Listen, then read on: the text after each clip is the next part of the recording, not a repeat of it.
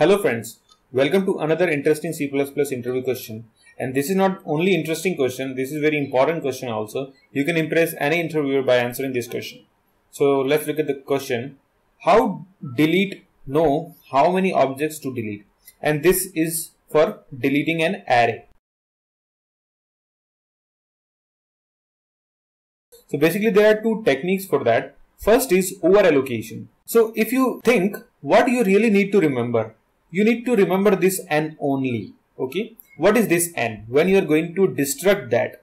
So you will be calling destructor on that pointer that many times and you will iterate in a loop. So this is the loop and you are calling the destructor that many times, this n time. So it's just only how to store this n and where to store that.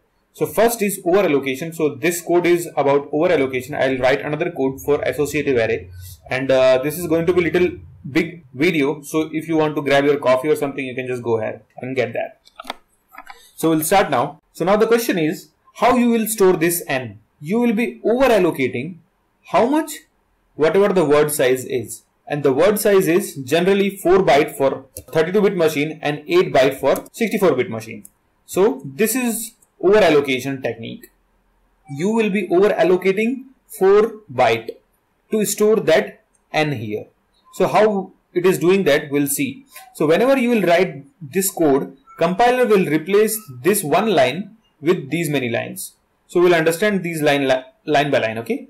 So what I told we want n times base. So this is what it is n times size of base. So this will return 4 and this is 10. So 10 into 4, 40 plus word size and my machine is of size 32 bit. So it will be giving 4 bytes. And this is nothing but just a function call.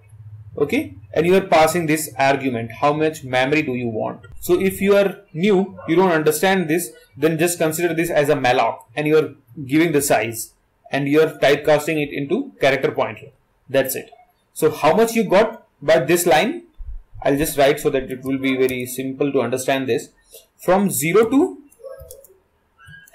43 okay you got this much okay from 0 to 43 because you over allocated this much word size. And now you're going to place this n on this. So we'll see that. That is little bit tricky. You need to keep your eyes open. So what we are doing here is this temp is currently pointing to zeroth location. Now we want this temp to point to fourth location by incrementing it by 4 and this temp is of character type. So it will get incremented by 4 characters. I mean the 4 bytes okay so at this particular location what address you will be holding you will be holding something like this uh, or we can say this P will be holding this address P is going to hold fourth address it's like 0 1, 2, 3, 4, 5 up to 43 here. So this P is going to hold from here to here. Actually it is going to hold this one only. I mean 4 only. So this P is holding this address and this temp is holding this address. So actually this is the base address for temp and this is the base address for P. If you notice what we have done, we have typecasted from 4 to 43 which is nothing but our original array into base pointer. And that's what we wanted. We don't want character pointer. We want base pointer okay? Because we are converting into base so we want base pointer so we have converted from 4 to 43 which is nothing but 40 bytes that we want into base pointer so this p is nothing but our original array okay and this 0 to 3 is nothing but this word size. So here we are going to place our n, this n here. Okay. So let's see how we will do that. That is also a little tricky. So this temp is nothing but this location, zeroth location, okay, of that full array. So now you will typecast that temp into size t. And this size t is nothing but uh, generally it is integer size. So and if it is 30 i mean if it is 32 uh, bit system it will be 4 if it is 64 bit it is 8 so mine is 32 so it will be 4 so you are converting temp into integer and you are placing that n to that okay so we have stored our n here so this n will go to this place 0 to 3 So we have done our job. We did copy n here and now we are ready to use our p from 4 to 43 which is of 40 bytes. Now the only thing is left is we need to call constructor that many times because the job of new is not just only creating memory its job is to call the constructor also okay? So we'll see how it is calling the constructor in that case. So we know n times we need to call so we are looping through and we are calling this new and we are passing the memory location. And this is what object we want to construct. And this technique is called placement new. If you don't know this just go to my previous video you will understand that what placement new is. And the heading of that video is what is placement new in C++ so that you will get it very easily okay? So I'll just roughly explain. It is nothing but you are telling I want to construct this object on this particular location. What is the general thing we do? We write like this okay? New and base. And this is calling the kernel internally and telling I want 4 bytes of memory and I want to construct this object on that memory. So kernel is involved in that. So we don't want kernel to be involved because we have already got the memory here. Now we want to construct the object on that memory.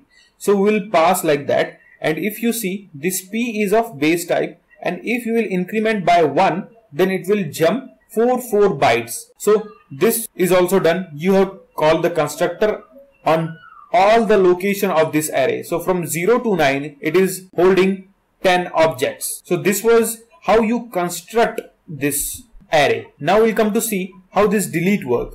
So whenever you write this delete array syntax, compiler replaces that with this one. These many lines will replaced. Okay. So let's see how this will work. You might have already noticed that we are getting n from that array. Okay. By minus this word size. So why initially we did these much things just because we wanted to store this n somewhere in the beginning of that array okay? Now we have to grab that n so that we can call the destructor that many times on this array. So this is where this grabbing thing is working here. So you are just getting that p typecasting into character pointer so whenever you will decrement it it will decrement by byte by byte so this word size I told it is 4. So it will get decremented by 4 bytes. So this P was pointing here if you see. Now you are telling to point this to 0 location. So now you have n in your hand. Okay. This n is nothing but 10 here. Okay. Now you will just loop through 10 times and you will call destructor in reverse order and you are calling this destructor explicitly. If you remember I told you that you are using placement new here. So whenever you are doing this placement new, you have to call destructor explicitly. Okay, it's your responsibility to free that memory. So this will call destructor on last element of this array and then the second last and the third last and it will go up to first location and lastly we have to destruct the whole array this array okay so we are deleting that whole array by just doing this bp minus word size. So, so far we have seen the over allocation. Now we'll see how this associative array works. So thanks for your patience guys. Now we'll see this associative array technique to store that n here. This whole thing is just to store this n only. Okay, just keep this in your mind because the question is how this delete know how many objects to delete and this is the size of array. So you just remember n only. Okay. So let's look at the associative array technique. Now you must be familiar what we are doing. So basically we are storing this n somewhere. So before we were doing over allocation so that word size was entered in the picture and we was incrementing that whole array by word size. Okay. And we were storing that n there. But now we'll create some array. This is that array association array I am not sure about the array name in the operating system, but it's something like this. So what you will do, you will simply do whatever you was supposed to do up to this place. I mean, base size is 4 and n is 10. So you will create n into size of base 40 bytes. You won't include that word size now. Okay. And you will construct that much and this base pointer is pointing to the first location of that array. Okay. Now you created one for loop and you iterated on that for loop and you just call this placement new and you just give this address one by one. Okay. Like 4 byte then another 4 byte and you constructed your object on those memories. So finally you are done with your array. Now the only thing remains is you need to store this n somewhere so that whenever you are going to delete this, you will get that n. So what you are doing, you are inserting that pointer with n. So whenever you are going to delete this, it will search in this array where is that particular pointer stored and what is the associative number. So this becomes very much simple but there are other problem with this technique that I won't cover here. You just need to remember there are two techniques. One is over allocation, second is associative array. So finally we have placed our pointer with that n. Now, now whenever we want to delete that, we'll just simply grab that value. Like this is the array. You will call the lookup function on that array and you will pass the pointer what you want to get and that pointer will be matched here and that n will be returned. Okay. So that n is getting returned here. Okay. By this lookup function. Now it becomes the same. You will iterate over the pointer one by one from reverse and you will just call the destructor. Again it is Fred. So call the destructor of base. Okay. And finally, once you have destructed all the objects which you constructed with this placement new on that array, you will delete that array.